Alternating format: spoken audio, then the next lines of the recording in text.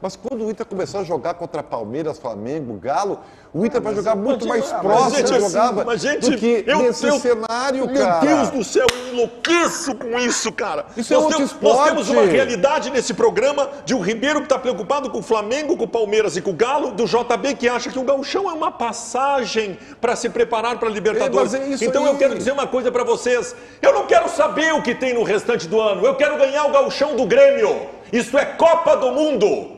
O Grenal do dia 4 de março é o maior Grenal dos últimos 20 anos.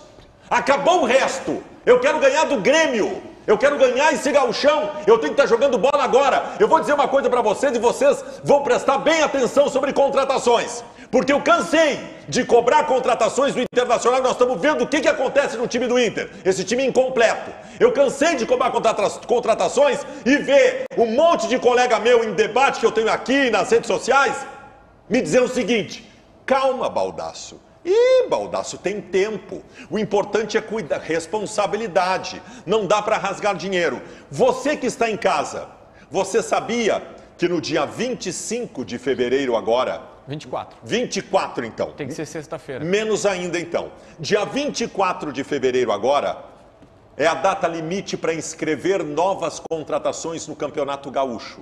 Tu sabe o que, que eu vou te explicar? Calma aí, não levanta. Para tudo que tu está fazendo e me ouve aqui. O Inter tem 18 dias, 18 dias, menos de três semanas, para contratar e inscrever jogadores no gauchão. Senão, não pode jogar mais o gauchão, que é menos importante.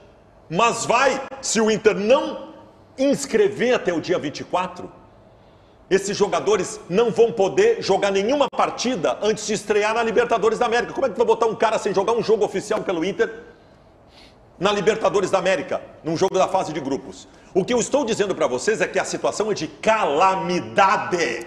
Calamidade! Eu estou cansado de gritar há três meses por contratações do Internacional. Eu estou cansado de pedir o cinco, de pedir o oito e principalmente pedir o nove. E todo mundo me dizendo: calma, calma, não tem calma. Agora, sabe o que está acontecendo agora? Virou desespero porque é reta final. O desespero que fez a gente trazer o Mikael e o Brian Romero virou desespero. Eu avisei.